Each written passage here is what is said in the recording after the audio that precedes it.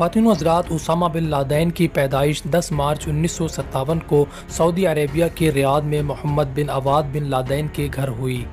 वैसे तो Usama bin Laden के वालिद यानी मोहम्मद बिन अवाद की बहुत सी बीवियाँ थीं, लेकिन जिनसे उसामा बिन लादेन पैदा हुए, उनका नाम हमीदा था।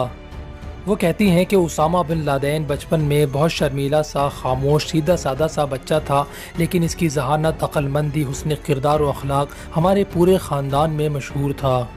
अभी उसामा बिन लादेन की उम्र 10 साल ही की थी कि 1967 में उसामा बिन लादेन के वालिद, यानी मोहम्मद बिन अवाद का एक प्लेन क्रैश होने में इंतकाल हो गया।